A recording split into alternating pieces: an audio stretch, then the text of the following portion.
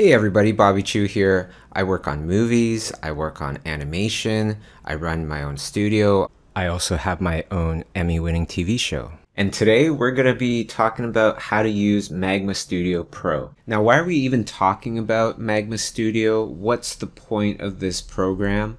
Well, how about it's free? How about you don't have to download any software, install any software? you can use this off of a simple Google uh, Chromebook that can't even install programs. Just use Google Chrome to use the software and away you go. How about you can paint and draw with up to 30 of your friends, all painting and drawing on the same board at the exact same time. And did I mention it's for free? You can also get the Pro plan which comes with a ton of extra features, including voice, being able to talk with each other, to actually truly draw and just jam with each other and have conversation. Okay, so here we go. Now, these buttons on the sides over here, I've copied them and pasted them right here with a little cheat sheet. Okay, so first one here is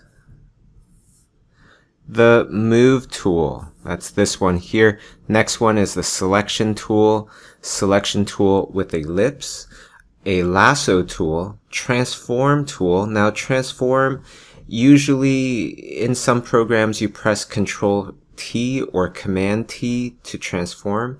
But when you're using a browser, uh, when you click on Command T or Control T, you open up a new tab. So with Magma Studio, it's Shift T, okay? And once you transform something, some programs you press Enter to finish the transformation. In Magma Studio, you just go to a New uh, Tool, okay? Just go to any other new tool and then you can get out of that. All right, so next one we have here is the eyedropper. I for eyedropper, you have all the hotkeys there. Pencil, now pencil, that is kind of like brush, but extremely jagged edged, you know, extremely hard edged down to the very pixel. Then we have the brush, okay, B for brush. E for eraser, the paint bucket tool. Then we have the shape tools. One is a rectangular shape tool. The other one is an ellipse shape tool. Then we have the hand tool, right? Just like spacebar uh, in Photoshop. And then we have rotate over here. And then we have zoom. Okay, and these buttons up here, these are generally for people that use phones, tablets where they don't have access to a keyboard very easily, we have the undo tool. We have the redo tool. We have zoom in, zoom out. We have flop, right? We have horizontal, um, flipping horizontally. Now, the interesting thing with this is that if I flipped it and you were on the same painting with me, you wouldn't have noticed a thing. It only flips it for me uh, because Magma Studio is a collaborative app and everything there is designed for collaboration. Then we have the rotate, rotate the other direction, and then reset. Okay, next we have here the colors. So you can switch back and forth between foreground and background color or press the letter X to switch back and forth. Then we have the hues, the saturation, the darkness, lightness. Okay, next we have here, we have the various tools that I used previously. Okay, so if you use the tool and you want to get back to that tool with the exact same settings, then you could just click on that and then you can get back to that tool. Okay, and Next we have here this X button. You can see you go incrementally very easily or you could just click and drag for the size of the brush that you would like. Next we have here a little box with a little paintbrush inside.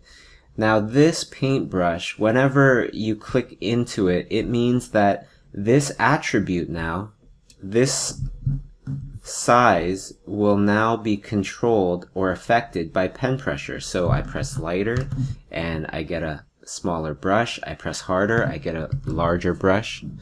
Okay, same thing with this one here, this attribute density. It's kind of like flow in Photoshop, the rate at which the paint will come out of your brush. So if I have really high density, then you can see everything comes out very quickly. If I have very low density, you can see it takes a while before I get to that 100% opacity. Okay, and we have a little box here as well. So you can control the density with pen pressure. You can have it affect your density a little bit. Okay, uh, next we have here the minimum size for pen pressure. Okay, if you're pressing really light, what do you want the minimum size to be? So if you want it to be as little as possible, you could bring it all the way down to zero. Okay. Next we have here is the opacity. Now this is the opacity of your paint.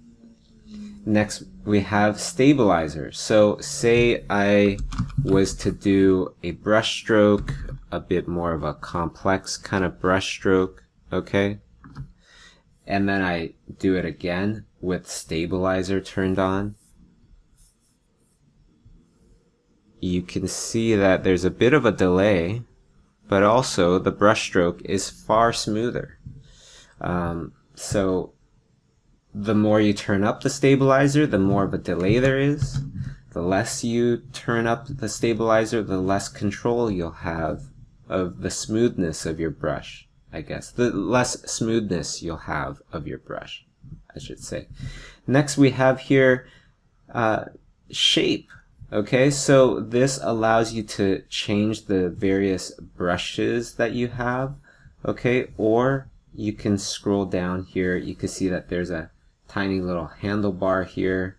This line um, divides the brush options from the layer options.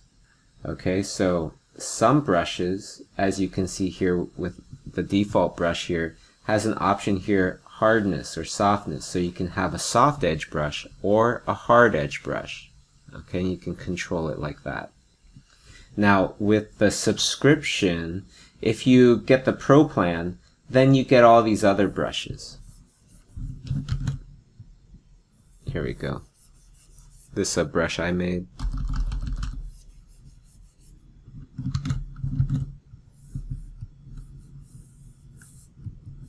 Okay, various brushes. There's a pencil one I made. If you use it a little thinner. Okay, and now on to the layer options here. Like I was saying, everything under this thin line here indicates that this is um, for the layers, and then you could grab this right here to move things up and down and create more space or less space for certain uh, options. Okay, so starting off with the first one here, lock transparency. That's this little box right here, right? So say I painted a whole bunch of stuff here and I didn't want to paint outside these very intricate lines and details, then I could lock my transparency and the blue that I want to paint in, I don't have to worry about painting outside of the lines because I've locked the transparency. Okay, I can only paint over top of what's already been painted. Um, next, we have the opacity of the layer. Next, we have the blend mode of the layer. So, say I create a new layer, okay, and I set this layer to normal. This is normal. And then I could set it to things like multiply. Right? I could set it to screen. You know, all sorts of different blend modes. Okay, so next we have leave. Now if you press this button, don't worry, you're not gonna leave the document, it just means you're going to leave your current layer. You can see these various colors here. Um, and now this one is gray. The, the one that I was current, I was on has now turned gray, uh, indicating that there's nobody on this layer. Okay. Every person will be assigned a different color. And the one that's nice and vibrant, that's the one that I'm currently on. The light orange ones, those are the ones that I own, but I'm not currently on them. And you could also see from here, you can see the names of whoever owns that layer. Only one person can own one layer at a time. That way, there's no chaos. As you can imagine, if more than one person can draw on one layer, it becomes totally chaotic. Okay, so that was leave, and you could double click on the layer to get it back. Now next we have duplicate, if you want to duplicate a layer. Next we have the new layer button, very important, right there above the trash can. And next, after that, kind of moving the other direction now from the trash can over to the magnifying glass. This is a search layers function. This is really great because say I have a layer here that has a tiny little fly, tiny little insect in the image, and I have a hundred layers and I want to know where is my little fly image. Then I could just write in fly and you can see that's the only image that shows up. I can also search by name, right? Um, if I had a whole bunch of people on here all making different layers I want to find out my layers, then I could just type in my username. That's why it's always good to create a user uh, name here. And you'll be able to save your settings, uh, which we'll talk about later. Um, so it's very, very useful to make an account. Now, next we have here the lock button, okay? The lock button, that means that you cannot paint in the layer anymore. Okay, and next to that we have the clipping but button. Okay, so this is another kind of form of um, locking the transparency, right? You can see that I've locked the transparency. I can only paint over top of the yellow orangey color there uh, because I've hit the clipping mask button, right? And this allows me to, again, paint very freely without having to worry about painting outside of the lines. Um, and then you could release it by clicking on the button again. Okay, next button we have here is the clear button. So just like that, everything's cleared, right? Uh, next to that, we have these two buttons. One is, both are a form of merge. Okay, this one is the regular merge, so all of a sudden I'll have one less layer here. Okay, I'm going to click on that and you can see everything has merged together, the orangey stuff with this magenta uh, pink color, right? I'm going to undo that and I'm going to click on this merge button. Okay, and what this will do is it'll take the contents of whatever's on my layer and merge it with the layers below.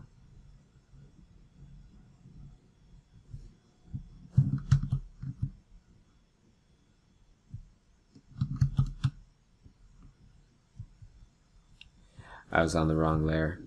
So if I'm clicked on layer 5, I click on this button, everything in layer 5 will shift to the layer below. And I'll be left with an empty layer 5. Okay, this is because there's a maximum of a hundred layers that you can make for this program. Um, and you can have up to 30 people all drawing and painting together at the same time. So sometimes you can reach that maximum of 100 layers. And if you want to keep painting with all of your friends, but you don't want to lose your layer, but you want to merge the things on your layer to the layer below, then this button comes in handy. Also, footnote, you can only merge things to the layer below if you own both of those layers. So in other words, you cannot merge your stuff onto somebody else's layer because you can, again, you can tell how chaotic that could become. Okay, and the other thing I want to mention here is use Google Chrome, not Firefox, not Safari, and you can try this program out for free at www.magmastudio.io. Okay, the other thing here is for all of the people that love shortcuts, okay? You can go up to edit, application settings, shortcuts, and create all these various shortcuts. So edit, application settings. You can see these various tabs here, okay? And then you can press shortcuts. You'll see all these various categories of shortcuts. The one that I like to change is